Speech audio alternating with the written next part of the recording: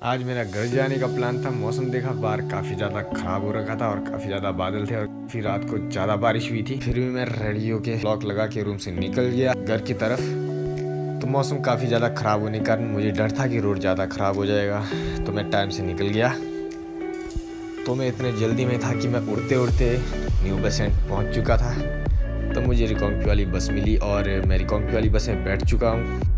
तो बस में चलते चलते कुछ खूबसूरत नज़ारे दिख रहे थे और मैंने थोड़ा उसको कैद कर लिया कैमरे में। तो ये आपको जो पीछे लोकेशन दिख रहा है, ये ज्यूरी है और काफ़ी खूबसूरत लग रहा है। छोटा सा बाज़ार है, बादल ऊपर से काफ़ी अच्छा लग रहा है। तो इसी के साथ हम बदाल में रुक चुके हैं लंच करने के लिए और काफ़ी ख़राब है मौसम और हमारी बस यहाँ पर खड़ी है। तो लंच करने के बाद मेरी आँख लग गई थोड़ी देर के लिए और हम टापरी और चोली के बीच एक कंजेस्टेड ब्रिज है, वहाँ पहुँचे हैं। और अब मैं बस से उतर चुका हूँ और ये करछम वाला लोकेशन है और मेरे को यहाँ से सांगला की तरफ़ जाना है। तो यार, करछम जो मेन ब्रिज है, उसको क्रॉस करने में मुझे काफ़ी ज़्यादा दिक्कत आई क्योंकि काफ़ी ज़्यादा हवा चला था और मेरे हाथ में छतरी थी और वो छतरी उड़ रही थी। तो मुझे भी ले जा रही थी साथ।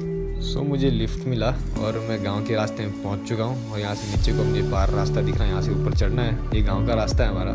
तो यार खड़ के पास काफ़ी ज़्यादा तेज़ हवा चल रही थी और मेरी छतरी उल्टी हो रखी थी और मेरे को लग रहा था मैं इसे पानी भर के ले जाऊँ घर। तो यार मैं अपने गाँव की तरफ़ पहुँच चुका हूँ और मैं अपने घर के ऊपर हूँ वैसे इस टाइम और काफ़ी खूबसूरत लग रहा है। हरा भरा है मौसम। सो उस रात को मेरे फ्रेंड की शादी की एक रिसेप्शन थी तो मैं अपने दोस्त के पास चला गया था और रिसेप्शन